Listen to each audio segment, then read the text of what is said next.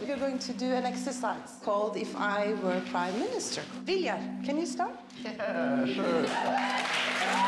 okay, um, where I come from? Everyone is welcome, regardless of uh, nationality.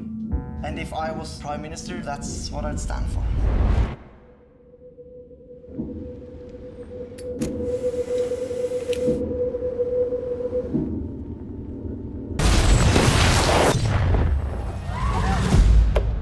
Breaking news. A large explosion has gone off in the center of the city. We will suspend activities until we get some more information, okay? I'm from Oslo PD. You heard about the bomb in the city?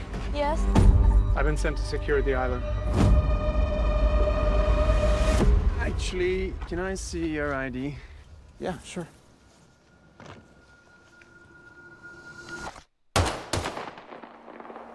What was that? Run, run, Torje, run, run!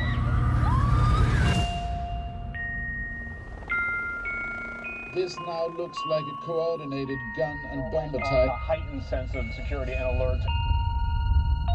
Where's Viljar?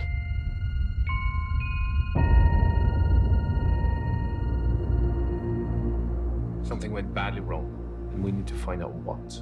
It's the only way we will get through this. I want to make him see what he's done. I just want to beat him. Then maybe this is your chance. The person they arrested. He asked for me. Why? There are witnesses I need to cross-examine. Norway isn't on trial. You are. Are you sure about that? I just don't want to be weak. Not in front of him. You can be weak and still strong. You know that, right? I still have hope, dreams, family, and friends. And I choose to live.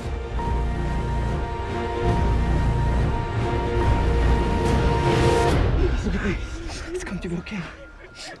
I promise you.